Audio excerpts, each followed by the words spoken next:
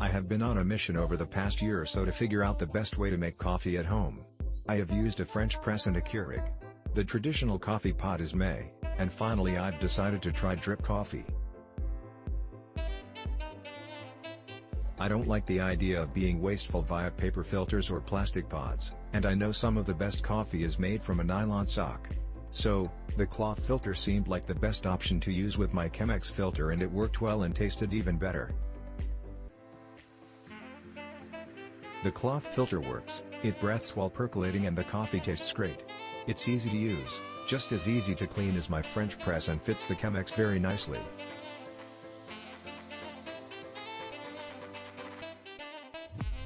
The package came with two filters. So I expect these to last a while.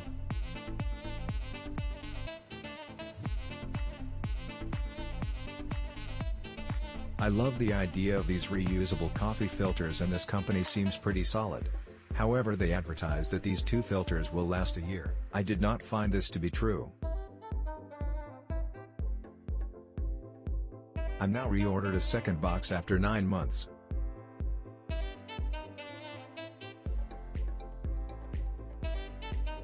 We really tried to keep these in good shape to avoid making another purchase but with daily use and weekly boils, to clean up the taste a bit, they've become stiff and hard and the coffee flavor has become very strange. We've lived with yuck tasting coffee for a couple months now with these. Never tried using vinegar to clean, only hot plus boiled water and drip dry. All in all though these things are worth it.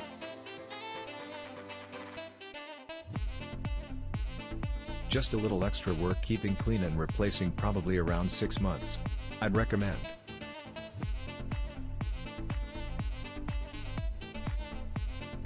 I love my Chemex but I do not like single-use filters. These are great. I find it super easy to rinse after use, boil every week to remove the oils, and air dry. Pretty low maintenance, great coffee, and no waste. Highly recommend. The only drawback to this product that I have found so far is cleaning it. Here's the process I've figured out. 1. Allow the filter to drain and dry as much as possible, maybe 6 to 8 hours. 2. Turn the filter upside down over the garbage can slash compost bucket 3. Grab the filter on opposite sides with both hands, and rub the sides together, getting as much of the grounds out as possible. 4. Turn the filter inside out over the sink. Place one hand inside it to support it while scrubbing the outside with a kitchen brush. 5. Hang the filter to dry, I use a clothespin. Update.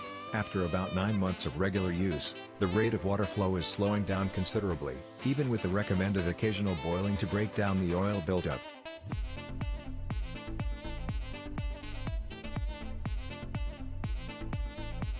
I estimate about 120 uses. At $7.50 per sock, this is about 6 cents per use, compared to 20 cents with a paper filter. Overall, a bit more work, less waste, and cheaper. Easy, reusable, will never go back to disposable.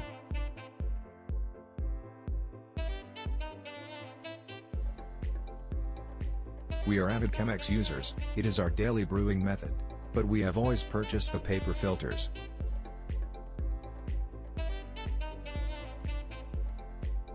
This 2-pack of cloth filters was about $10 cheaper than one box of 100 paper filters, so I figured we wouldn't be losing money if we could at least use these for 100 days. We are only a few days in, but we are convinced that we will continue using them indefinitely.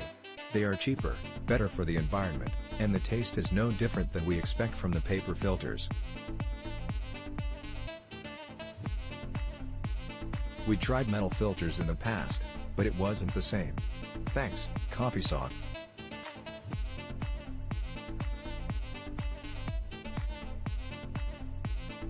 I hate having coffee grounds in my coffee. This product eliminates that problem, even fine sediment.